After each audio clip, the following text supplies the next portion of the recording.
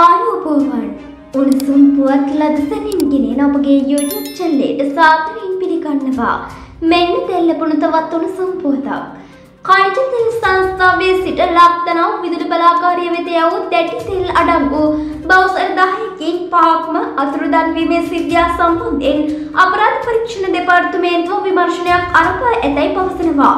නැවතෙල් වෙළදාමේදී බෞසර් හිමියකු විසින් සිය බෞසර් ක්‍රියාතය යොදාගෙන විදුලි බලාකාරය වෙත මෙම දැවිතෙල් තොගේ රැගෙන ගොස් යද්දී දැවිතෙල් ලීටර් එක් ලක්ෂ අනුවට දහක් බැගිනු බෞසර පහක් මෙසේ අතුරුදන් වී ඇති බවයි හෙළිතරව් වී ඇත්තේ. ඊට අමතරව තෙල් සංස්ථාවේ නිලධාරියෙක් පැවසුවේ තෙල් බෙදා හැරීමේදී මීට පෙරත් මෙවැනි සිද්ධියක් වාර්තා වී ඇතත් දේශපාලන හිතවත්කම් මත ඒවා යට ගසා ඇති බවත් පැවසන අතර මෙවර සිද්ධිය යටපත් කිරීමට විවිධ පාර්ශ්ව උත්සාහගෙන ඇතත් අසාධාරණයට එරෙහිව තෙල් සංස්ථා නිලධාරීන්ගේ බලපෑම් මත එය යටපත් කර ගැනීමට නොහැකි වූ බවයි. මෙවැනි උණුසුම් පුවත් ලදසනින් දැන ගැනීම සඳහා අපගේ YouTube channel subscribe කර බෙල් අයිකනය ක්‍රියාත්මක කරන්න. ඔබට සුබ දවසක්.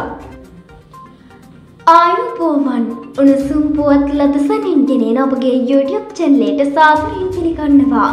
මෙන්න තෙල්ලපුණු තවත් උණුසුම් පුවතක්.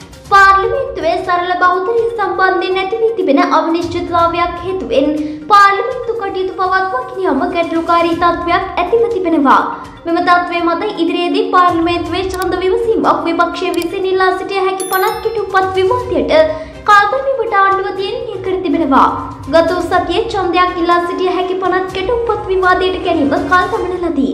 ශ්‍රී ලංකා පොදුජන පෙරමුණේ පිරිසක් වෙනම අපේක්ෂකයෙකුට සහාය දීම හා තවත් අමාත්‍යවරුන් දෙදෙනෙකුගේ මන්ත්‍රී දුර අහිමිවීම මත ආණ්ඩුවේ බහුතරය සම්බන්ධයෙන් ගැටලුකාරී තත්ත්වයක් ඇති වී තිබෙනවා. ආණ්ඩුවට සහාය දෙන සිරු මන්ත්‍රීවරුන් කොළඹ රඳවා ගැනීමට නොහැකි ප්‍රායෝගික අපහසුතාවයක් ඔවුන්සේ ගම්මින් වල ජනාධිපතිවරණ මෙහෙයුම් සිදු කිරීමට අවශ්‍ය වීමත් මෙයට දැඩිව බලපා තිබෙනවා. මෙවැනි උණුසුම් පුවත් ලදසනින් දැන ගැනීම සඳහා අපගේ YouTube channel subscribe කර බෙල් අයිකනය ක්‍රියාත්මක කරන්න. ඔබට සුබ දවසක්.